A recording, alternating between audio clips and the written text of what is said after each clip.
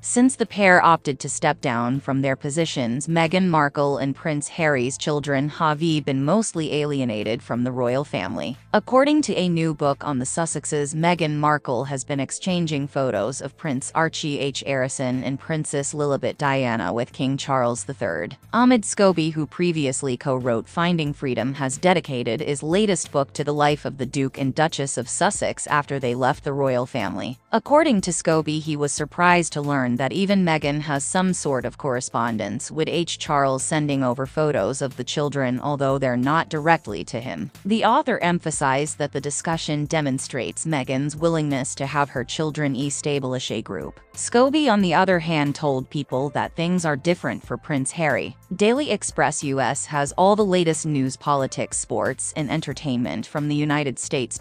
He still has unfinished business when it comes to his battles with the press, he remarked. His challenge will be to find something that balances that out so we can see him working in a space that isn't connected to the ties that bind from the past. Scobie claimed Meghan has moved on from the royals and is now focused on her future and family with H. Harry in their new Montecito home. Quite early on in the book writing process, some of those Meghan sources that I really lent on in the earlier years this time he continued. Scobie remarked of Harry's connection with the king there's a reluctant acceptance that this is just who his father is. He would rather have something in his life than have it cut off entirely. As a result, when they speak, Harry is frequently reaching out. On November 14th, Prince Harry and Meghan Markle allegedly wished King Charles a happy 75th birthday. Despite a busy schedule of activities, the monarch is claimed to have had a friendly and cordial talk with his son and daughter-in-law. A source familiar with the matter said, The king was extremely busy but is polite and loves his son and his grandchildren and not so mean that he would not take a call on his birthday.